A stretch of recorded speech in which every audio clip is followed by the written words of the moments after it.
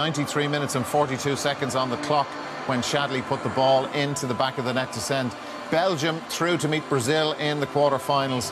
Um, an incredible finish to the match. And I, I, wonder what it's like to be from Japan because there's a sense of disbelief around the studio here, Richard. A stunning way for the thing to finish. In Japan, they just really Oh, they gifted the opportunity to Belgium to, to score that goal. Incredible, incredible decision by Honda to take the corner in like that. We had a game against Italy with Ireland and we made a similar mistake. We, we gave away a goal in the last minute and Trapattoni was going mental for, for years after it.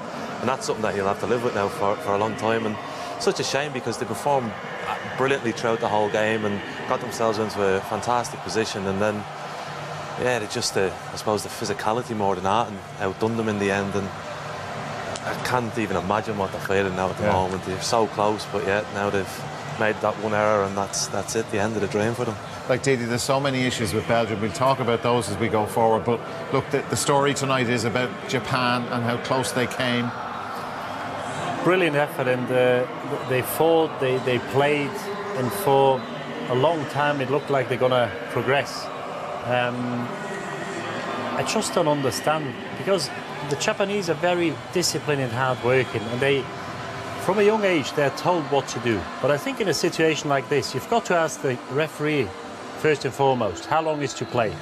I think it was about 20 seconds, 30 seconds mm. on the mm. clock. You take a short corner, and if you want to kick it out for a throw, and you go back and you play extra time.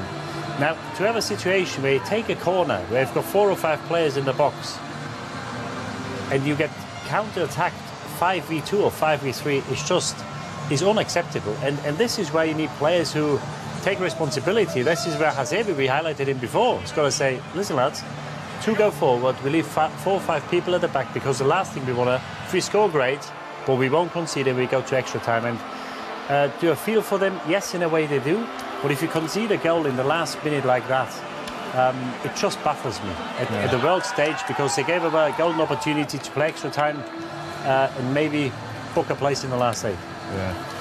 What, what's your take on what we've just witnessed, Liam? Well, first of all, I got to wipe the egg off my face because they were absolutely magnificent. I didn't think they had a chance before the game, but, you know, they're so upset. Uh, Didi's right.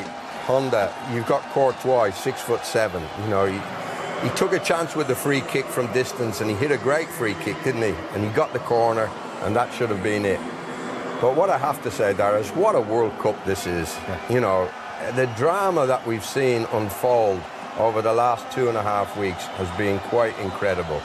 Uh, and this was a, a, game to put up with any World Cup game you'd see. I thought Belgium were lax, they were, they were casual, um, but I did say that they had a bench that they could go to, and that's what happened. You know, Fellaini coming on. Richard said that the physicality was won them the day in the end, and Fellaini and Chadli, you know, their, their strength and their power in the air. Uh, but you have to feel sorry for the Japanese, and as Richard said, Honda will be, you know, I think Thierry Henry there is, is, is, is applauding the Japanese team.